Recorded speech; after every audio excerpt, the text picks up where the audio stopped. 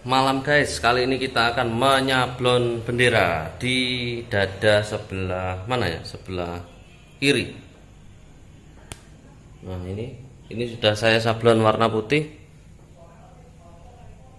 Nah, ini sekerinya putih sama hitam, jadi ada dua warna. Nah. Oke, nanti kita lanjut saat penyablonan warna merah. Nah ini guys hasilnya.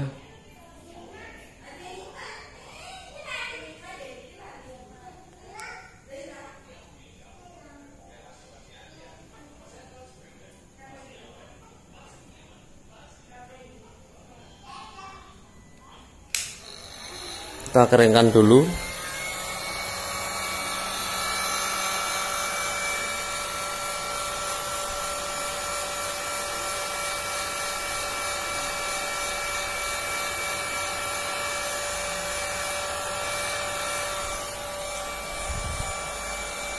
tinta jenis plastisol ini harus benar-benar kering ya guys sebelum di hot press. Karena kalau tidak tidak kering ya saat dicuci akan rontok.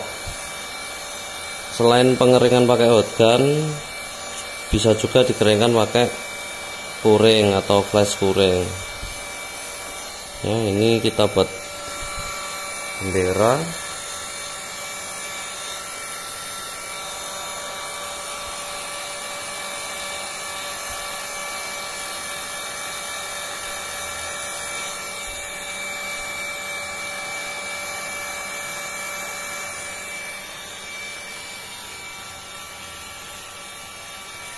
Oke itu tadi proses pembuatan bendera ya guys. Tidak saya video juga karena tripodnya ndak ada. Jadi kalau nyablon sambil pegang HP ndak bisa saya guys. Mungkin lain kali akan saya persiapkan lebih matang lagi supaya bisa mendokumentasikan cara-cara sablon. Oke terima kasih guys.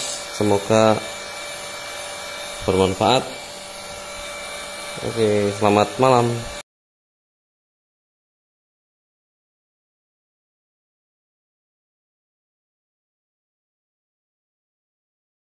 Oke, sekarang kita sablon bagian belakang.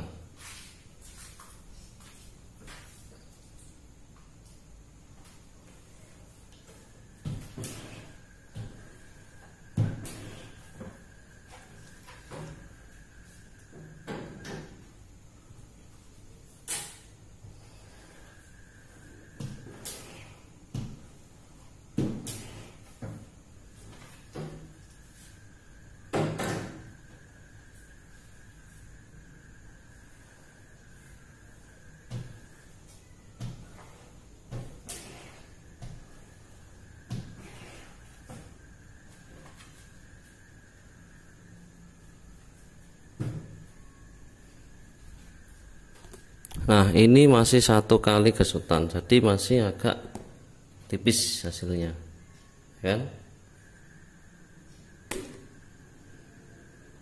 Nanti kalau sudah dua kesutan maka hasilnya juga akan tebal.